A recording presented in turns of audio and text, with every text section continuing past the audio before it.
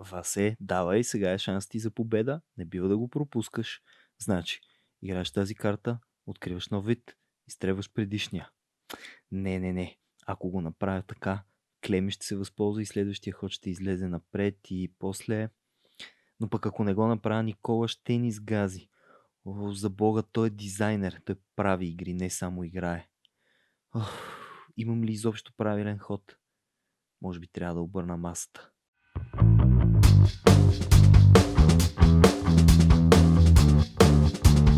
Проектът се осъществява с подкрепата на столична програма Култура. За да не пропускате нищо, което правим, последвайте ни в социалните мрежи, а ако искате да ни подкрепите, можете да направите това на patreon.com raciobg. Здравей, Никола! А, повечето хора най-вероятно не те познават толкова добре, колкото аз те познавам от последните 10 на години. Затова, може би би било подобаващо в началото да кажеш няколко думи за себе си. И понеже ще говорим не за настолни игри, може би как изобщо започна за теб цялата тази история с игрите. Mm-hmm. А, казвам се Никола Петров и съм професионален гейм дизайнер.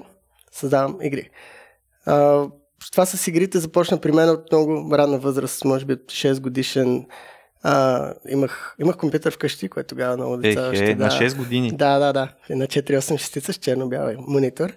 И нещо ме привличаше много в това и още тогава подхождах така...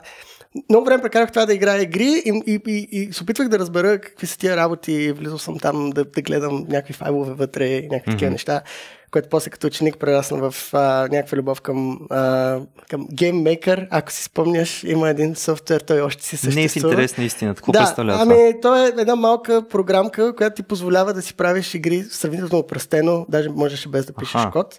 А, и горе-долу по това време открих Magic the Gathering, голямата игра на карти, а, която ме накара да науча английски всъщност. А, Чрез Magic the Gathering. Абсолютно, това Уау, е. Да. Първата, а, първата книга, която прочетох на английски с речника дума по дума, беше правилата на Magic the Gathering. А, и в един момент всъщност установих, някак си осъзнах това, че игрите не са нещо готино, дето баща ти го носи и го, и го играеш вкъщи, а е нещо, което някой го е създал. И някак си осъзнах, че можеш да, да го правиш това и започнах още като ученик да си правя мои игри. А, след това записах право, оттам се познаваме, разбира се, с теб. И от Завърших клубовете го- за настолни игри. Точно Нека да така, отбележим точно едновременно от двете. А, но преди да успя да си завърша правото, вече също имах работа в гейм индустрията и, и така, в един момент осъзнах, че правенето на игри е професия, е нещо, което хората го, го правят, мислят го и го действат. И почнах аз да го правя и се насочих абсолютно на там. В момента съм а, така об- обсебен от това. По, по цял ден си мисля за правенето на игри, това работя, в, в, в свободното време правя други игри и така. Тоест на теб и хобито, и професионалният ти живот, всичко това е белязано Така е, да. на практика за винаги, от 6 годишен, от игрите, от игрането. Да, малко драматично звучи, но да, така се получава. Еми не, това е супер. Аз ако можех е, да си избера от кога да се влюбя в игрите, сигурно бих си изкефил повече, ако беше от 6 годишен. При мен много по-късно дойде всичко това. Аз пък живеех далече от моите приятели и много често родителите ми ми подаряваха настолни игри. Така започна пък моя път в настолните игри, които нямаше с кого да игра, защото никой не искаше да идва на гости толкова далеч. Те просто се трупаха, трупаха, трупаха и в мен се трупаше едно желание да ги играят игри, но може би за първи път наистина започнах да играя повече настолни игри, точно с Yu-Gi-Oh! и Magic the Gathering, когато съм бил 12-13 годишен, доста по-късно. Два пъти на възрастта, на която при теб се е появило това играене на практика. Е, освен нали видеоигрите в компютърните клубове, които вече май не съществуват никъде. Има, в София има един-два, още съществуват, но да, са странни, странни места. са. Жестоко. Добре, всъщност ти а, правиш не настолни игри, правиш видеоигри Мгм, като Да. професия. А, да, професионално, аз съм гейм дизайнер в а, компания име Snapshot Games, а, където правим видеоигри. А, тоест аз правя компютърна игра а, като по цял ден на работа и се занимавам с а, настолни игри от преди това а, имам една издадена иг- игра, Краят на бардовете, която е на пазара, в момента работя по друга. И а, това е сравнително типично. А, за съжаление, много хора, които се занимават с настолни игри, mm-hmm. дизайнери, специално дизайнери на настолни игри, а, обикновено работят и нещо друго. А, защото за, за да економически, за да, за да се осмисли това, трябва да правиш по няколко игри годишно, което е огромно количество работа. Но аз имам късмет да имам работа, която също е свързана с гейм дизайн и всъщност гейм дизайна на видеоигри и на настолни игри са изключително сходни. Аз много често говоря за тях общо или просто прехвърлям от едното в другото, защото принципите са много сходни, въпреки че крайният продукт очевидно е много, много различен. М- колко сходни? Добре, можете да направиш едно сравнение, защото аз, например, не разбирам абсолютно нищо от а, дизайн на видеоигри. А, и поне в моя свят си представям, че да, нали, има там а, една и съща основа, на която в крайна сметка математиката не се променя. Дали ще бъде игра, която играем на маста или игра, която играем на компютъра или на PlayStation, горе-долу звучи едно и също, но в процеса на работа няма ли все пак множество разлики? О, да, да, так, абсолютно.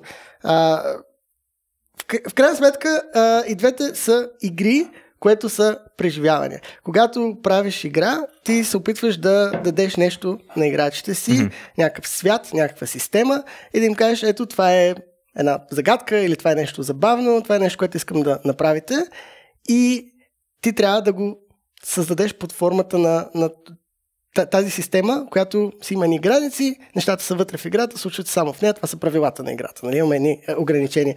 И всъщност mm-hmm. това не е много различно. Дали ще кажеш ми, натисни тук нали, на екрана тези неща и ще се случи нещо, или премести тези компоненти по масата.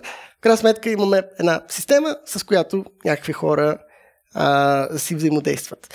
А, също така, игрите имат нали, страшно много психология, имат страшно много математика и това не се променя много между двете, въпреки че обикновено цифричките в компютърните игри са много по-големи, защото тогава ги, смята компютъра. Има кой да ни ги сметне, да. Да. А, има една голяма, много голяма разлика в преживяването, чисто като играчи. Mm-hmm. И това е нещо, което ние предвиждаме, когато, когато работим по дизайна. И то е, че компютъра може да ти каже, не можеш да кликнеш тук и просто тогава не става нищо. А, тоест компютърните игри сами си ограничават системите и си следят mm-hmm. правилата, докато в една настолна игра, ако реша да преместя нещо, аз физически го мести, то вече е там. Uh, и настолните игри разчитат изцяло на играча, ако е сам, защото ти знаеш за това, да, но uh, как ти си играл като дете сам uh, настолни игри, да. така всъщност uh, има революция на соло игрите в момента. Възрастни хора дават пари, за да играят и да си раздат ни карти на масата и се забавляват много с това. А, но дали ще има един играч или ще има група от играчи, което mm-hmm. е типичният пример, а, всъщност групата сама трябва да си налага правилата и трябва да кажеш, ми това не може да го направиш. Нали? Тук тази карта не може да я сложиш тук, защото е втори ход или нещо. Да, също ти на живо можеш да обърнеш маста и да прецакаш цялото Точно нещо. Точно така, да. Има ако навлезем малко в философия, Пернарцец, един философ казва, нали, че игрането на игри е преодоляването на ненужни препятствия. Mm-hmm. И метафората там обикновено е каква е целта на шах. Целта на шах е да вземеш царя на другия играч. Ми аз мога да ти взема царя. Но това не прави игра на шах, нали? Това прави аз взех един предмет от масата. Когато играем шах, ние се съгласяваме, че има едни дълги правила, кончета трябва да ходят на гъ и чак тогава да стигнат до царя.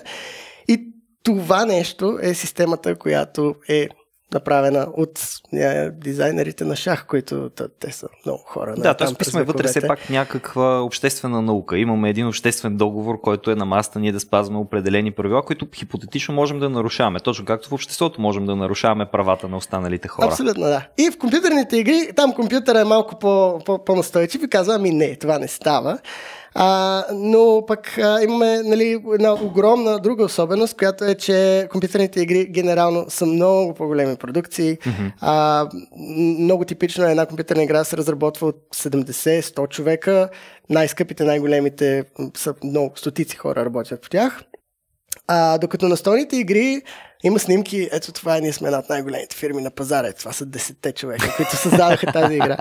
А, така че да, а, има, имаме големи разлики в продукцията, имаме големи разлики в а, комуникацията.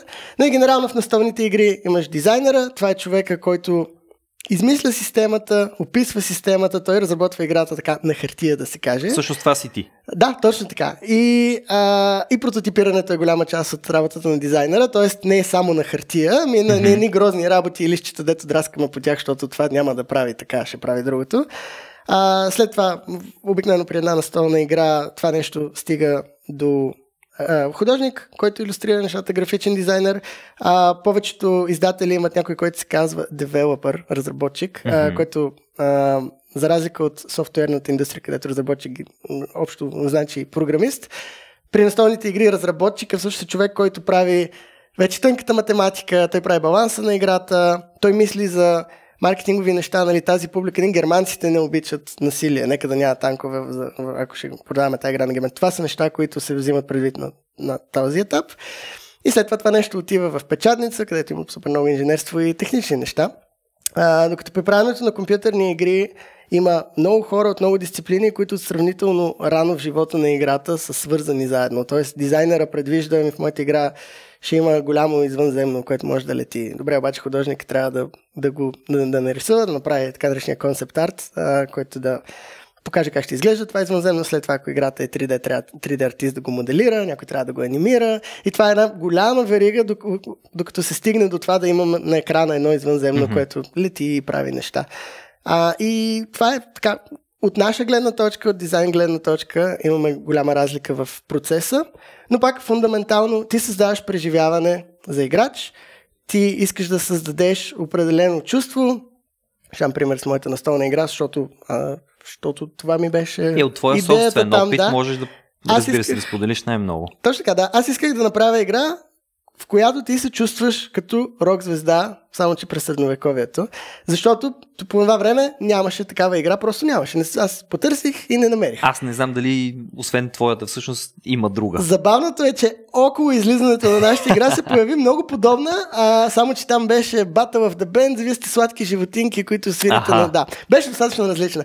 Но аз исках да направя... Окей, аз съм Барт. Какво значи да си Барт? Ми аз съм някакъв готин тип с някакъв средновековен странен инструмент. Така. Нека да кажем гайда, защото първи ни герой беше Киро Гайдар. Добре.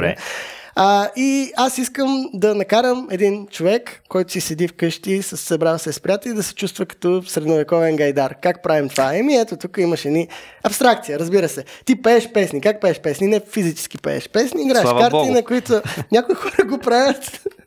как, как се изрази един рецензент за нашата игра? В тази игра може да пеете. Дали това е хубаво или лошо нещо, зависи от вас. така е. А, но това, което, което искахме да постигнем с този проект, първоначално почнах mm-hmm. сам, по-късно екипа, с който реализирахме финалната игра, а, искахме да създадем тази метафора, добре, аз съм музикант, какво значи да си музикант? Ми трябва да си готин, трябва да пееш някакви песни, трябва хората да ти харесват, значи ще ти пляскат. А, как, как ставаш готин музикант, ами като ставаш богат и известен. Имаме абстрактни системи в играта, събираш ни парички и събираш ни фенове и така ставаш богат и известен. Целта на играта е да си най-богат и известен, там трябва да събереш определени парички и фенове. И всъщност, дали а, това ще бъде компютърна игра с много голям 3D свят, с интересни звуци вътре, анимации, всякакви такива артистични неща. Или имаме карти на маса, зарчета, които дрънкат и имат съвсем друго а, преживяване, също така приятно. Ние създаваме метафората ти си музикант през средновековието и в крайна сметка се опитваме да предадем с дизайна си, с всичко, което влагаме в играта, а, на играча, който ще, ще разцъка тази игра ще си кажа, много яко.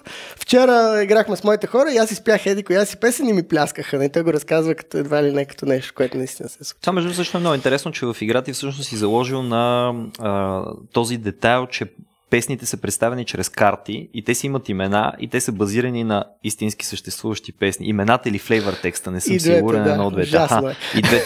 да, обаче това, това някакси включва повече хора да могат да станат част от uh, този опит, който ти им предлагаш с играта, защото те познат тия песни, аха, аз нали, не просто искам да си изиграя най-печелившата карта, която математически ще ми донесе най-голяма победа, нали, най-сигурна победа, но искам и да направя нещо, което е много готово, защото това е песен на Девид Бол и аз го обожавам и затова ще изпея нея. Точно така. Всъщност отваряш много интересна тема тук, защото Следващата голяма стъпка в гейм дизайна, когато нещата вече нали, са случили на хартия, е плейтестинг, ага. а, тестването, а, като разбира се дизайнера постоянно играе играта, която се създава. Нали, аз измислям нещо, хвърлям мини зарове 10 пъти, виждам какво ми се пада и взимам някакви решения. Обаче, има един нали, закон Божий, че ти си мислиш, че играчите ще играят като тебе, даваш играта на който е друг човек и той прави, ама точно обратното. а, имахме, имахме един случай, работихме по един проект, искахме да искахме играча да вземе меча на крал Артур, да го извади от, от скалата и да отиде и да стане крал. И първия плейтестър, първото нещо, което направи, беше да извади меч от склад и да го хвърли в една река, за да види какво ще стане. И нямаше крав Артур. А, това нещо се случва постоянно и а, това е следващата стъпка. Ти а, постоянно търсиш реакции, постоянно търсиш обратна връзка и даже а, има един гейм дизайнер, който много харесва Мери Ланг. Той казва, много по-важно е да наблюдаваш играчите си, отколкото mm-hmm. да ги слушаш какво ще ти кажат след играта. Езика на тялото ще ти каже повече неща.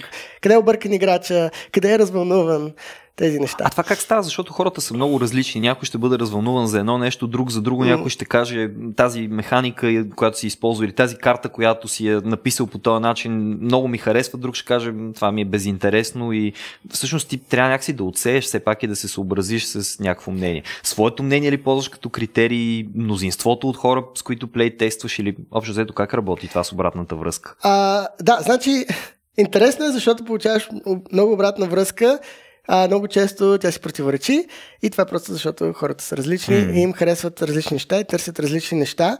Всъщност, а, нали, почнахме темата от това, че нали, хората могат да пеят в, там в краля на бардовете. А първоначално ние бяхме сложили оригинални песни, защото бяхме артистични и си измислихме наш свят с наша музика в Супер. него. И решихме като майтап да сложим една карта, която се казваше Камарена. И какво става? Отиваме на, на един фестивал а, в, в Германия, Есеншпил, големия фестивал за настолни игри в Европа. И много непознати хора а, започват да играят нашата игра. И са такова, mm-hmm. какво се прави, не, чуваме зарчета, чуваме шляпа на къс, че е, камера! След това някой други, след малко се чува друга мас, е, камера, бяхме, открихме нещо без да искаме.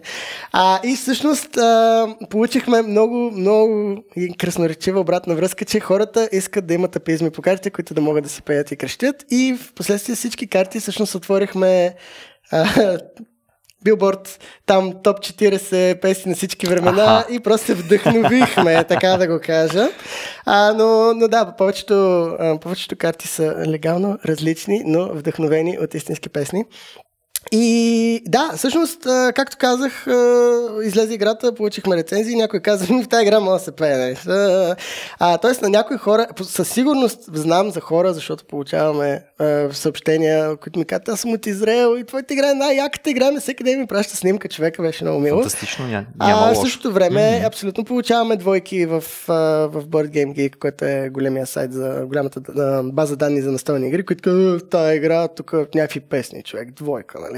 А, тоест, не можеш да угодиш на всеки. Аз а, лично вярвам, че е, това е хубаво, защото ако играта ти е предвидена за определено преживяване, за определена аудитория, за определени хора, тези хора много ще си скефят на mm-hmm. твоята игра, а на другите хора не можеш да им, да им угодиш. Ще, ще получаваш двойки в, в какъвто и продукт да правиш. Освен ако не направиш един много безопасен, много така общ продукт за всички, когато ще получаваш петиции и шестици. От Който обаче звучи като да бъде безкрайно безинтересен, защото в крайна сметка ти ако съобразиш абсолютно всяка възможност и включиш вътре, това ще бъде много трудно за създаване, изобщо като опит, като игра. И второ, никой няма да усети вкуса, който искаш ти да придадеш. То няма да има вкус, просто ще бъде, хм, това се ядва. Има начин да се направи, нали, правено е. А, аз предпочитам, както казах, да, да, да преценя още в самото начало на един проект, коя е моята аудитория и да се опитам да им дам това, което тази аудитория ще оцени. Mm-hmm. Не, да го наречем ниша. А, иначе хората са много различни. Всъщност има, има доста наука, която а, се, се занимава с това. В игрите има много математика, има много психология, разбира се. И имаме много, а, много проучвания, които чисто психологически а, изследват хората как играят игри, а, и ги делят на категории. Нали. А, примерно има едно проучване много, много интересно от тук вече на 20 на години ще стане. А, историята е, че а, един гейм дизайнер прави MUD, това е Multi-User Dungeon, това е текстова игра, в която различни хора от различни компютри, била революционна за времето, mm-hmm. могат да влязат и да им се случва някаква история. И а, той бил сигурен, че а, дизайна му е, е в посоката, в която трябва да бъде, обаче някак получава, ми това не ме кефи, това не ме кефи така. хората. Има от теория, добре, хората, а, кое не им харесва в моята игра, това, че има много биене, това, че няма много биене, я да направя едно проучване. И всъщност прави един много интересен анализ, в който разбира за свой шок, че той не е прав, ми, всички са прави, всъщност разделя хората на четири категории. И се че има поне четири вида хора, според това проучване, mm-hmm. после има други а, които фундаментално извличат съвсем различно чувство от игрането на игри и търсят нещо. И той в общи линии ги дели на а, социализатори или комуникатори. А, това са хора, които са в тази мулти-юзер игра, за да могат да се срещнат с друг човек, да си говорят и да... Да, да създават някакви... някакви интеракции. Точно така, да. да. Тоест, като ролева игра, ролеви играчи, все едно. То, то е базирано, мъдовете са абсолютно базирани на традиционните игри с хартия и зачета. Окей. Да? А, обаче има други хора, които изобщо не им пука за това. А, той ги нарича ачивари, или такива, които искат да, да, да, да побеждават, да, да, да постигат. А, и те са там, за да, просто за да направят да убият най-големия дракон и да направят там каквото Мгм. може в тази игра да се постигне. Да чупят рекорди. Абсолютно да. А, има съвсем други хора, които той ги нарича убийци. Те са там единствено за да развалят кефа на другите хора. Той, той вижда, че някой се, там се социализира и си прави нещо в този Мгм. дънжен и, и него му е кеф да го убие просто. А, в играта на Magic, това са, имаме хора, които играят синьо, които казват, ти няма да направиш това нещо. Нали? Те ли са убийците? Да, абсолютно. Да, и- понякога. а, да, да. И а, има четвърта категория, която той определя с а, изследователи. Те са там просто за да видят какво има в играта. А, като това означава не само буквално да обходят там всички пиксели, нали, Мгм, да, такова. Те, мгм. те, а, дори системите в играта са им интересни. Колко, колко дракона могат да убият, по колко начини могат да убият дракон. Това е един вид изследване на системата. А това са хората, които, например, обичат да а, варят различни полшенки и да създават каквито предмети могат да създават вътре в рамките на играта. Точно. Това е, това е интересно. Тоест той разделя а, хората, които играят на тия четири типа и всъщност към всеки тип а, предполагам всеки тип предпочита съответния вид опит от играта си. И всяка игра трябва да съчетава възможността поне 2-3 от тези 4 или всичките 4 Идеално типа да се всичките- съвместяват. А, трябва да мислиш, не можеш да направиш перфектната игра и да угодиш на всички. А, мо, както нали, си говорихме, може би даже не, не трябва и да опитваш, но определено трябва да ги имаш предвид тези неща. А убийците не звучат ли повече като пречка? Извинявай, че те прекъсвам. просто да, това, да, да искаш да развалиш кефа на останалите ми звучи като нещо, което искаш направо да разкараш от, от системата. Да, И- да не може да има такива хора, ако е възможно в играта ти. А, Counter-Strike е игра само за това и е една от най-популярните игри изобщо. Така че, ако събереш тези хора помежду им и кажеш бийте се, те са супер щастливи. Окей, да. Но, но това е игра, която е само за убийци на практика. Буквално? Да. В, в, в случая с Counter-Strike съвсем буквално. Метафората Съвсем е застрелвам те в главата. Не Да. е много деликатно. Да, да, то там е даже желателно е да те застрелям в главата, това ми носи повече слава и удоволствие и така нататък и така нататък. Добре, ако съпоставим двете, защото предполагам, че повечето хора, но това предположение в момента е така леко под въпрос го поставям, но като че ли повечето хора на мен ми струва, че се сблъскват ам, доста по-често с видеоигрите в различните им форми, отколкото с настолните игри. Имаш ли ти наблюдения като човек, който работи в тази индустрия, дали това наистина е така и съответно пък все по-често и по-често се говори за възход, ренесанс на настолните игри, за връщане към тях, все по-често се появяват, особено ето сега през пандемията да речем. Аз пък четох едно проучване, че ролевите игри, като Dungeons and Dragons, може би благодарение и на Stranger Things и разни други медии, които ги пропагандират, интерес към тях е скочил примерно с 300-400%. Почнали са да се появяват в компании, в които никога човек не би предположил, че подобно нещо може да се появи. Има ли такова нещо? Тоест, съпоставими ли са като индустрии тази на видеоигрите и тази на настолните игри или видеоигрите са по-популярни или дори, не знам, по-малко популярни? Това би ме изненадало, ако ми го кажеш. А, да, абсолютно. Има. А, първо, че двете индустрии са много свързани. А, възход има огромен. А, цялата гейминг индустрия видя абсолютно небивали а, продажби през 2020, защото всички останаха вкъщи. Хората си вкъщи, да. Всички се сетиха, че нямат какво да правят. Не, хората по принцип си съживиха стари хобита, от, много от които включваха гейминг. А, абсолютно рекордни продажби на конзоли и на игри. Сега, а, настолната индустрия е много малка част от общата гейминг индустрия. Мгм. А, и разликата е огромна в, в а, нали, мащабите. А, по принцип от доста години гейм индустрията продава повече от Холивуд. А, като цяло игрите правят по-големи а, приходи от, от филмите. А настолните игри преживяват абсолютен ренесанс. Всъщност а, започнахме разговора с това, че се запознахме в университета, играхме игри. Горе-долу тогава наистина вече се засилваха нещата. А, хората преоткриха налоговите забавления. Имаше един феномен на стоя нали, в офис на компютър по цял ден. Искам да отида с приятели да, да подсъкаме нещо на масата, да се видим, М. да пием една бира, който обича бира. И а, това нещо не е спирало. а, като пак Краля на бардовете излезе а, края на 2019 година. Само на събитието, на което излезе играта, имаше 1400 нови заглавия. А, и това е едно събитие в годината, вярно най-голямото, но а, американския еквивалент GenCon също толкова mm-hmm. игри излизат. Имаме платформи като Kickstarter за краудфандинг, където хората просто хвърлят пари по екрана и, и след финансират. няколко години си ги получават. А, да, няколко... Може би. Не, получават ги.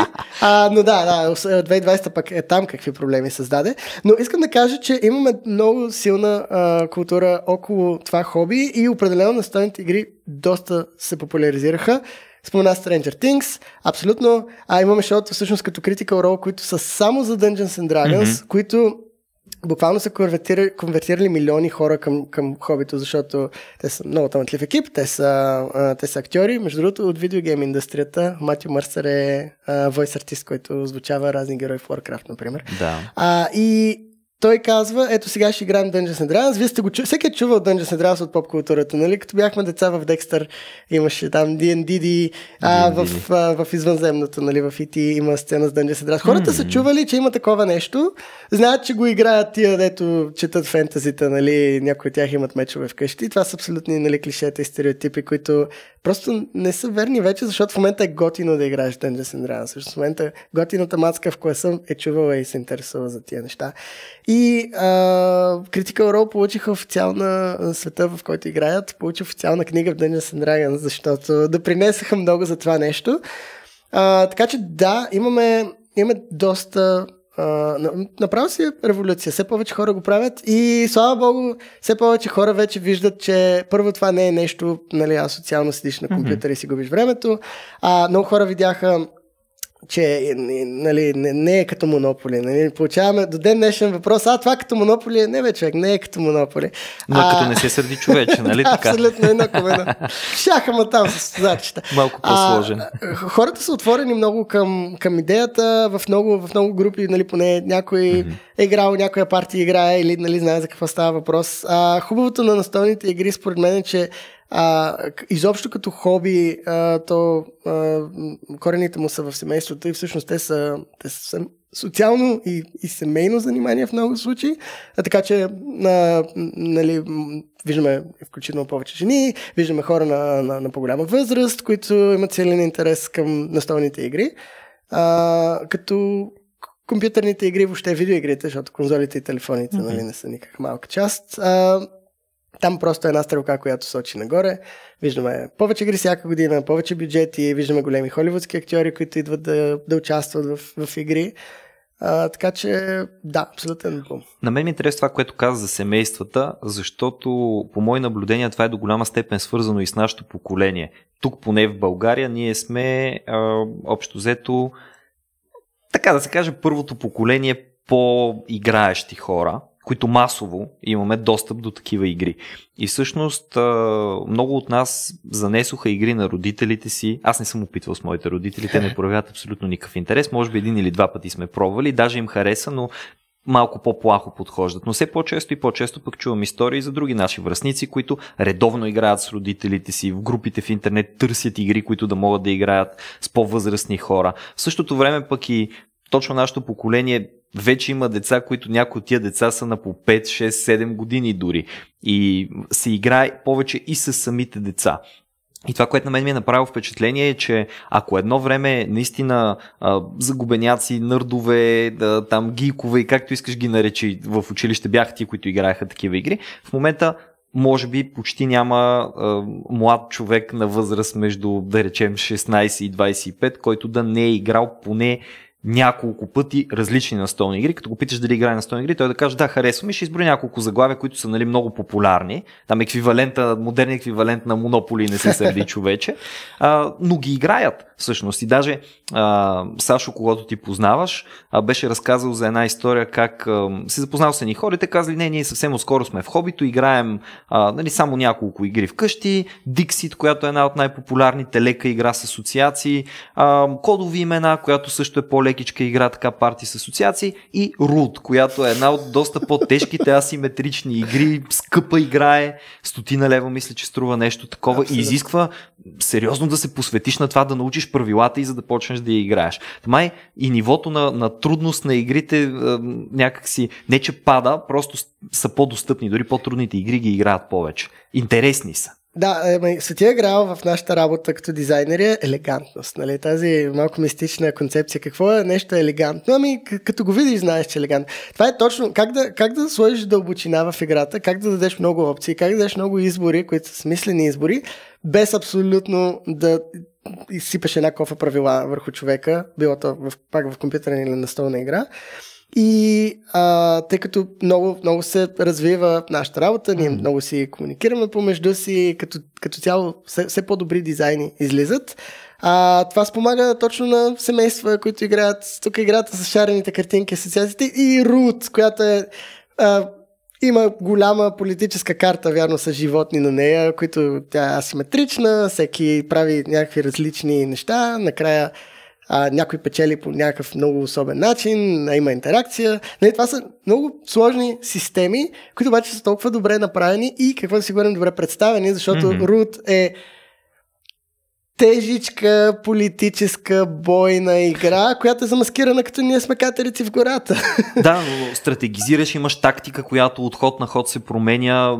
Сериозна игра. Нали? Не е шах, не е да. го, но е сериозна игра. Да, не е да, нещо, абсолютно. което е така между две ръки, де се вика да седнеш и да разцъкаш за 5 минути. И наистина, просто поздравления на, на екипа, който, който постигна това, нали, Руд, Руд си е направил постижение.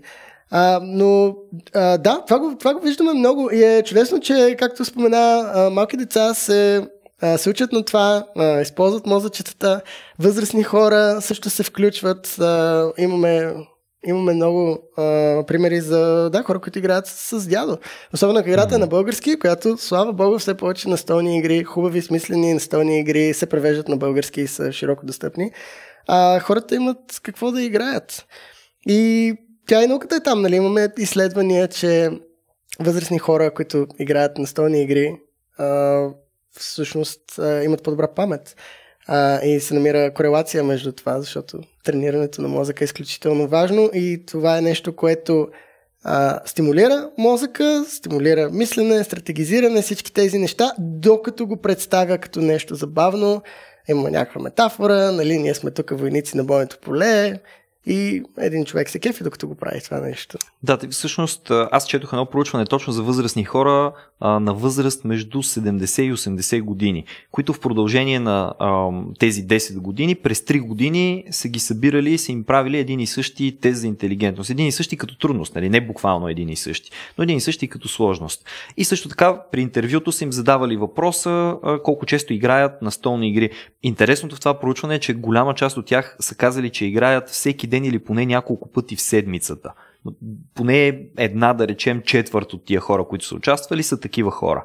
И се оказва, че колкото повече играят на столни игри, толкова по-фокусирани са, толкова по-са, така да се каже, съкъла си, толкова по-добра е паметта им, както ти отбеляза. Изобщо явно има все пак някакво значение. Държи мозъка заед, развива го и а, въпреки това обаче психологията не е, не е единственото нещо, което ни интересува, когато става дума за настолни игри. Даже а, изобщо когато говорим за дизайн на игри, предполагам, че математиката а, взима връх.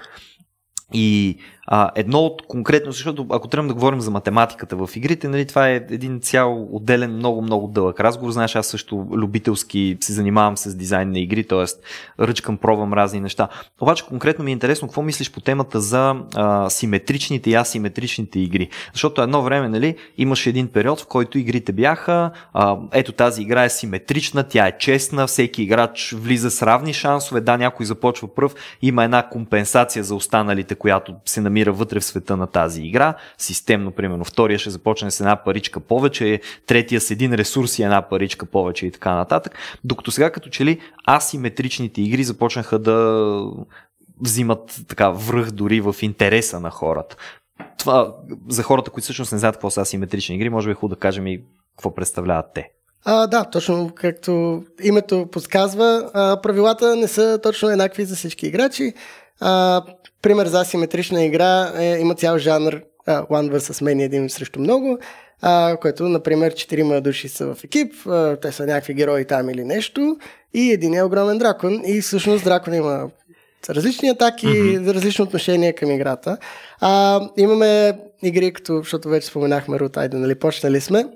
Но там е, ние сме една гора, в гората има някакви а, различни животински култури а, и те играят много различно една от друга. Нали? Едните са някакви търговци и те се опитват да намират ресурси, другите са войници, те отиват да, да бият другите животни, трети са някакви култисти, които имат някакви религиозни странни неща, които правят, но а, те фундаменталните правила на играта са едни и същи, но а, има толкова много нюанси между а, ресурсите, с които играчите борят по време на игра, че всъщност преживяванията им са доста различни и те имат различен път към победа.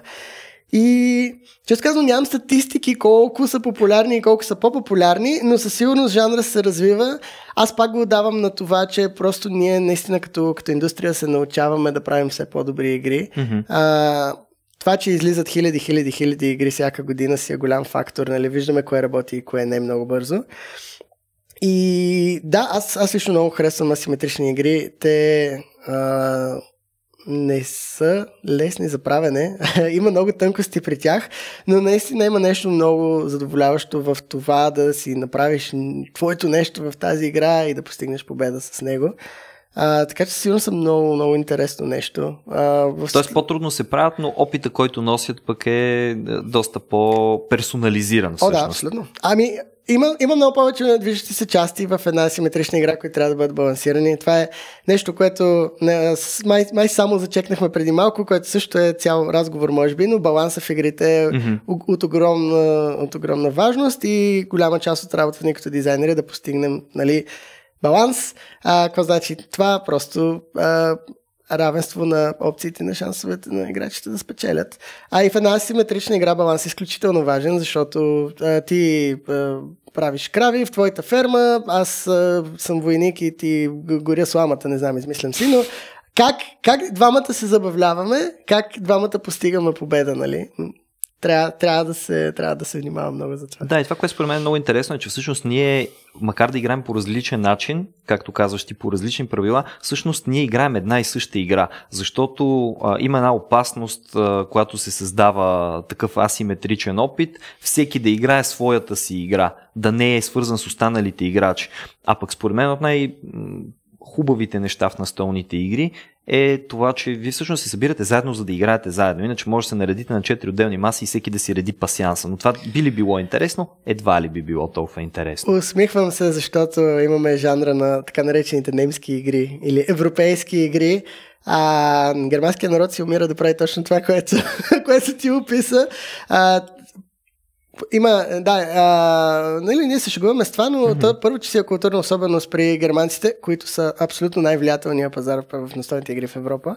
А, но той е цял жанр и много хора се наслаждават на, а, на така наречените немски игри, които са с минимална конфронтация, с минимално биткаджийство, нали, те, те не обичат и те mm-hmm. обикновено са економически игри. Там а, обикновено създаваш някакъв економически модел, окей, аз ще построя тия сгради, те ще ми носят тия ресурси, тия ресурси аз ще ги вложа за да направя нещо. И всъщност а, в много от тези игри а, хората, всеки си има неговата дъщица, на която си реди нещата. Всички играме най-същата игра, Възможно е да си прехвърляме ресурси. Сега mm-hmm. предполагам, че доста хора, които слушат подкаста, поне са чували за Катан. Там е, там е това. Разменяме си ресурси, за да, за да си постигнем целите. А, и има някаква интеракция, която в някои игри наистина е минимална. А, но накрая всички броим точки, един е с най-новото точки той печели. И има една огромна аудитория, на която това е любимото нещо и това са игрите за тях. А, аз и ти че определено сме в другата категория, които ние пък обичаме интеракция, конфронтация. Както си каза, аз също съм, аз съм съгласен, да речем, че е въпрос на лично предпочитание, но аз, аз съм на, абсолютно на мнението, че ако сме седнали около тая маса, ми да си mm. говорим там да се бием нещо, да правим нещо заедно, вместо да всеки да си реди неговия пасянс. А, и това до голяма степен обяснява и популярността на кооперативните игри. А, като нали, пандемия е една такава а, там всъщност играчите седят около масата и заедно решават един и същи проблем. Тогава играчите играят срещу играта. А, и това е изключително задоволяващо и приятно чувство за много хора. Те, те, те просто много се кефят да седнат, да измислят нещо като група и да кажат ние спечелихме. Да, всъщност кооперативните игри, защото ние като че ли подминахме тази тема и не се спряхме на нея, като цяло игрите развиват доста умения. И кооперативните игри със сигурност са тези, които се фокусират около работата в екип, нещо, което в модерното общество е изключително важно, общо взето каквото и да работиш, се работиш в някакъв екип. Абе, направо си е най-важното, да, комуникацията е, е изключително важно умение, буквално за която и да е сфера.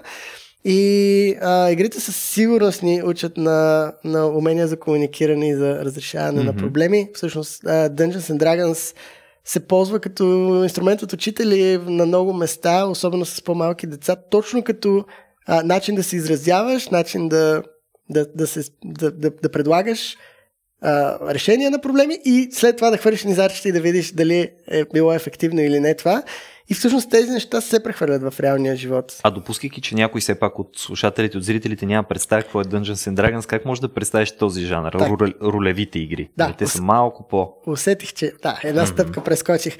А, ролевите игри, а, голямата им сила е, че те са, а, те са начин група да разкаже история, а, като използва някакви правила. And Dragons абсолютно е най-популярната от тези игри.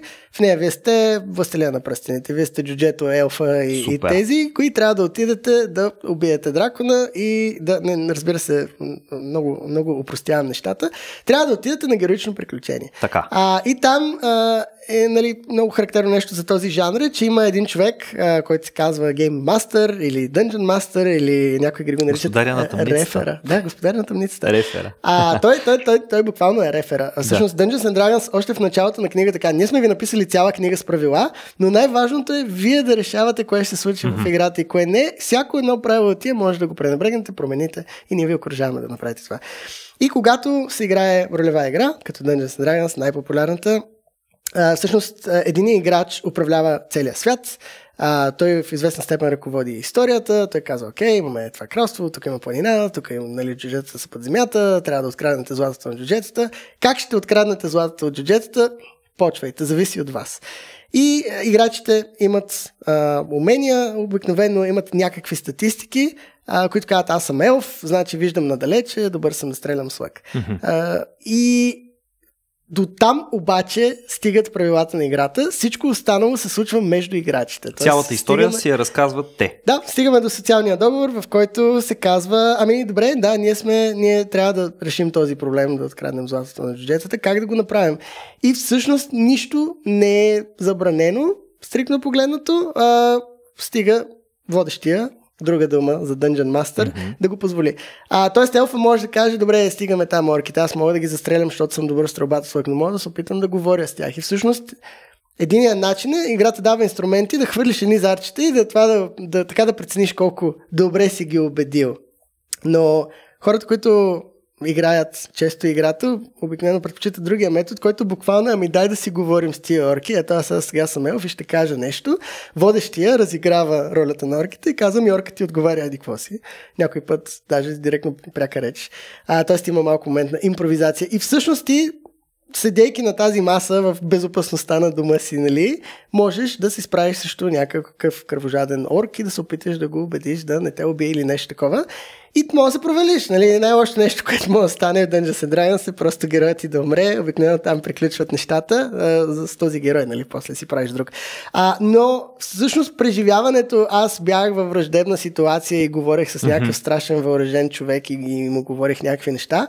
Това е нещо, което ти остава и всъщност наистина има, има значение за теб като човек. Има хора, които стават по-социални по този начин, има хора, които превъзмогват проблеми с комуникация по този начин.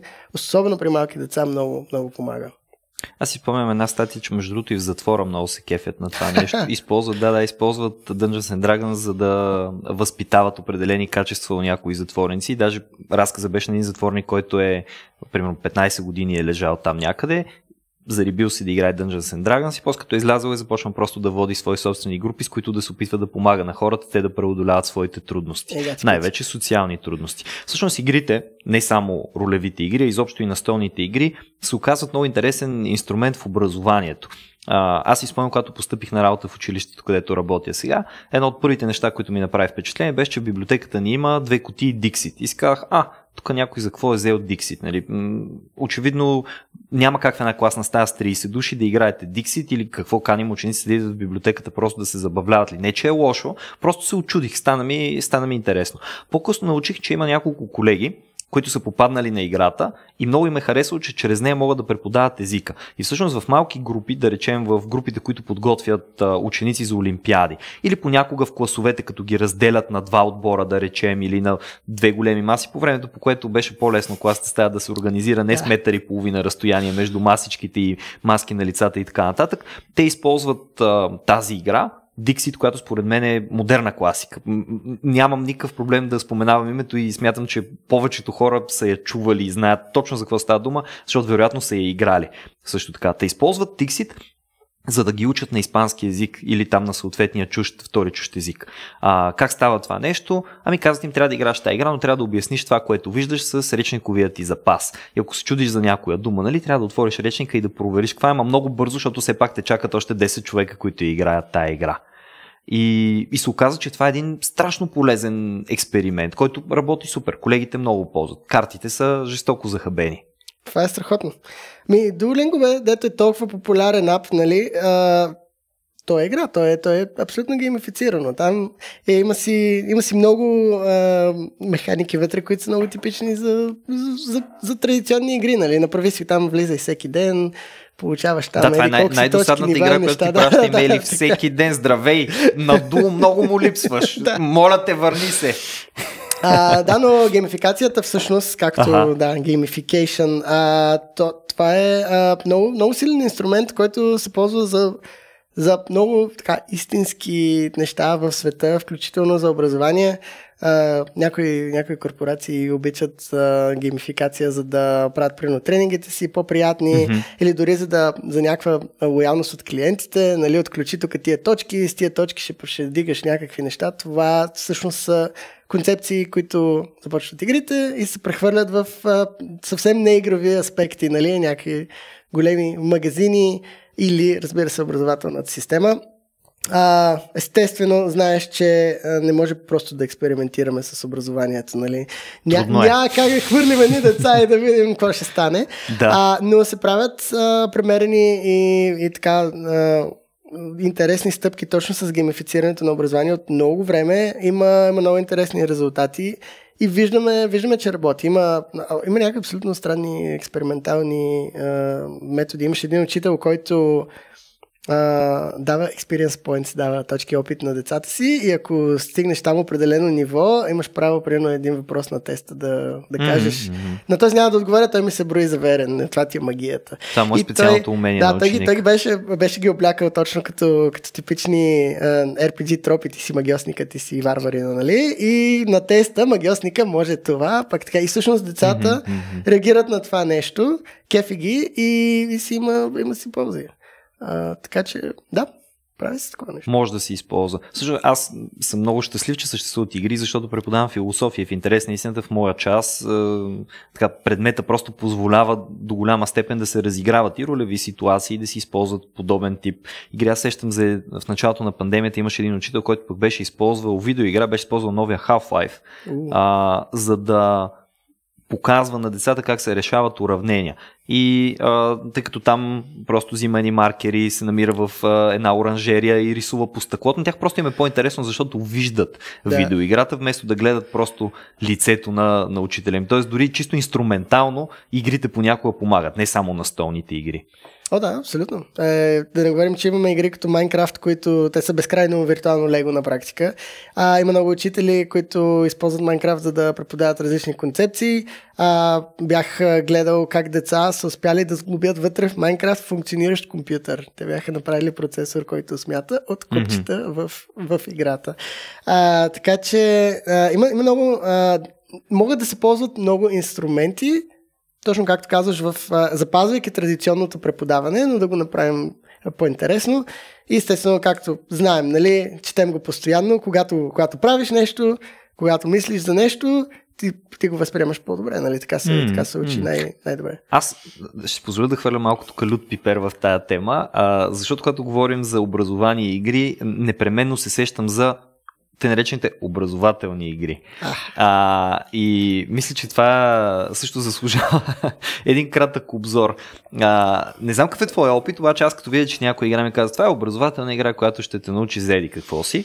Освен ако не е насочена към ученици, които са много малки или дори деца, които още не са станали ученици, в повечето случаи ми се струва, че е обречена на провал. Начина по който комуникира знанието защото все пак, когато говорим за наука, ние не трябва да си представяме само единствено химия, биология, физика. Нали? Трябва да си представим също историята все пак като някаква наука, философията като някаква наука и проче. Начина по който образователните игри, които се определят като образователни игри, комуникират съдържанието, много често е пократителен. Няма друга дума, с която да го опиша, поне за мен. То е винаги едно и също. Тип стани богат въпрос с отговори, които като го изиграеш един път и ги научаваш на изуст, но също така нямаш никакво функционално мислене, нищо не запомняш. Тоест, запомняш, но нищо не разбираш от това, което се е случило. Та, имаш ли ти самия някакъв опит, нещо, което да споделиш за всъщност образователната стойност на игрите, защото те имат такава образователна стойност, просто дали се крие в образователните игри или не баш. Абсолютно, да. А, ти говориш за така наречения edutainment. Хайде да учим заедно, много е готино. Докато се забавляваме. А, което, да, а, там имаме често има сериозен проблем с презентацията, да, защото както има, има един мит, а, той е, има го в гейм дизайна, има го на много други mm-hmm. неща, а, като цяло, а, това е за деца. Значи да го направим тъпо, защото децата са тъпи. Което е много пагубно нещо, защото и то просто не е вярно. Децата са нормални хора, които имат малко опит. Те знаят по-малко mm. неща, защото са били по-малко на този свят и това не значи, че няма да схванат нещо, ако му го обясниш правилно. И да, абсолютно имаме проблема с детските продукти, детски книжки, детско всичко, които са, ми тук е слончето, сега ти казва. А, като Всъщност, да, както ти каза, има много начини да се, да, да, да се направи по много по-елегантен начин и много често даже това не е целта. Всъщност много игри дават знания на, на хората, без те да са edutainment или ние сме образователна игра. Ми не, ние сме гранд стратегия, която а, ти си владетел в Европа, имаме прекрасна българска игра, малко старичка вече, Knights of Honor. Знаеш колко история съм научил от нея? Защото там е точно това. Ти си, ти си царя, а, картата е исторически вярна, тя е съобразена и имаш, имаш политика, имаш завоевания. Сега, естествено, бивайки игра, ти можеш тотално да промениш историята и можеш да отидеш и ти да станеш голямата империя mm-hmm. в Европа.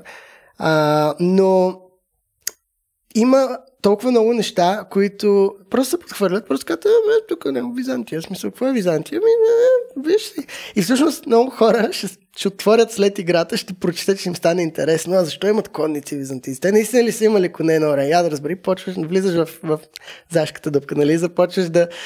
Мисля, че tangential learning е термина за това, когато ти, не знам, тангенциално, а, научаваш неща, които играта не ти е казала, я сега ходи и научи повече за, за византийската конница, но когато в играта има някаква конница, дето е баси яката, нали, а, ти, ти почваш да го свързваш, защото това е нещо силно, това е нещо интересно. Искаш да научиш повече. И след това абсолютно влизаш и научаваш истинската история на това нещо. А, много гейм дизайнери, които познавам, изключително много внимават за това. Всъщност, нали, винаги правим игра. Първо, първо трябва да е продукт, който да е, да е забавен, трябва да си mm-hmm. постигне целите. Но винаги, когато нещо може да бъде реалистично, а, нещо, което може да бъде научно, дори играта да е, да е фентази или особено при научна фантастика, там всъщност много хора казват, дай да видим какви експериментални технологии има и да ги бутнем там, да ги доразвием, нали? както работи за, за sci-fi романите, така mm-hmm. работи и за, за игри, които правим.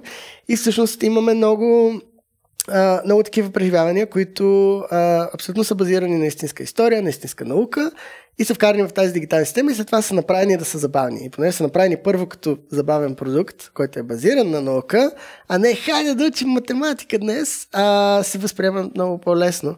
А, има игри като Kerbal Space Program, играл ли си я? Не. Тя е, Какво е това? Това е симулатор за ракети. Това е, вие сте едни малки Аха. сладки човечета, които си строите сувалки, ракети и всякакви обекти, които целта е да ги стреляте в космоса и те да не да се разбият.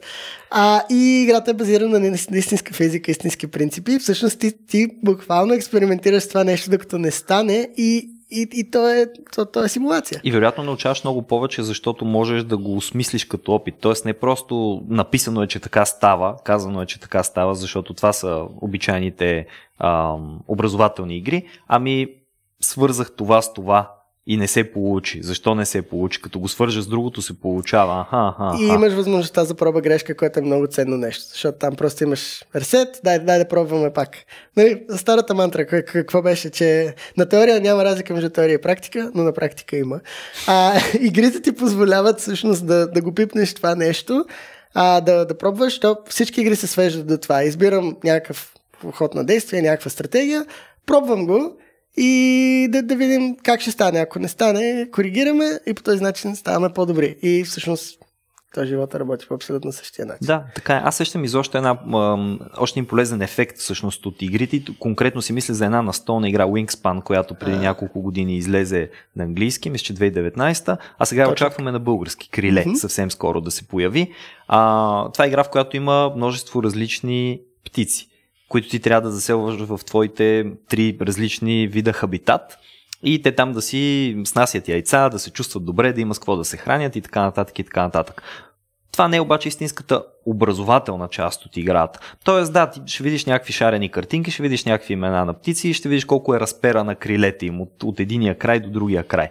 Което е интересно, хубаво, любопитна допълнителна информация.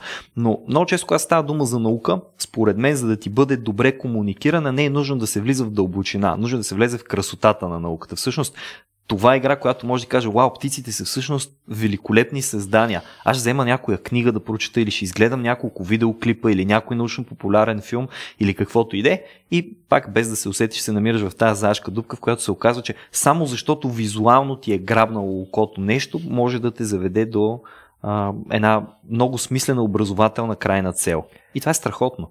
Точно така. А скоро слушах подкаста с авторката на Wingspan. Тя е невероятно интелигентна жена, много ме впечатли. А, и тя всъщност се занимава с birdwatching. Да да го кажа, че това хоби е доста по-популярно в Америка, отколкото аз може да си мислех. Mm-hmm. А, и тя всъщност прави това е първата и такава по-голяма, по-комерциална игра, но, но тя наистина го базира на нейната страст към птиците. Тя каза, искам да защо няма, хиляди биткаджийски игри с дракони, защо няма игра с пилета, аз обичам а, минава през дълъг процес, но още докато, докато е показвала ранни прототипи на играта, просто е усещала как има хора, и ти ли гледаш птици, нали, аз тук чакай да ти покажа тетрадката ми дори. Ага. А, и се оказва, че всъщност има, има едно голямо такова интересно общество на хора, любители на птици и това е играта за тях. Те, те супер много се кефят, защото играта е много красива, базирана е абсолютно на истински птици. Даже, доколкото знам, размаха им си е, както си, си е верен. Е, нали, да, в... да, точно така. И първо а, имаме цяло, цяло едно общество, което се интересуват mm. от това хоби, тази наука, нали, естествено. А, и след това имаме много други хора, които казват, аз не знаех, че птиците са толкова интересно нещо. И имаме едно, един друг интересен феномен. Хората се привързват към неща, които са им се случвали като преживявания в игрите, дори те са абсолютно произволни. произволни. Например, ето с тая птица, нали, mm-hmm. миналия път спечелих той колко си точки, нещо, нали. Тази птица е важна за мен. И това е, той има тестега с много карти с птици в тях, но тази птица е важна за мен. И ти почваш да имаш сантимент към тази птица в реалния живот и когато ще отидеш да прочетеш за нея, както кажеш, или ще видиш природата и ще кажеш, а, я гледай жерав, нали? Жеровите, знаеш ли, че те за тях еди какво си? Което е супер. Това е начин да научаваш, без да целиш да научаваш непременно. Точно това е. В смисъл, не отричам еджутеймента, когато се, имаме примери да, да е направен добре и да е така хората да искат да си взаимодействат mm. с това или да енгейджват, казано на български. Но а, наистина успешни, успешният начин да се направи такова нещо е когато самия автор има страст към това и когато тази страст успее да я, да я прехвърли, точно запазвайки тази абстрактност и все пак този фън фактор, друг български израз ще кажа, но а, забавлението остава в играта, но и науката е така леко периферно е там. Ако искаш, ще, ще, ще влезеш в този свят, ще научиш нещата. А ти май да не искаш, пак ще влезеш. Аз се сещам, сетих се за един забавен коментар, мисля, че беше точно под а, обявлението, че ще имаме играта на български. Някой беше написал, много ми харесва играта, нали? играем я многократно, така и така. Общо взето понаучих някои неща, защото допреди това за мен птиците изделяха на два вида. Ако плува е патка, ако не е чавка. Ето, доказателство, че един човек е по-образован от Wingspan. Със сигурно, поне един, поне един, а най-вероятно и повече. И добре, благодаря ти за този разговор, Никола. Беше ми много приятно и някой път отново в подкаста можем да задълбочим за... Виж колко много теми поставихме днес. Ще си изберем поне една. С най-голямо удоволствие, благодаря.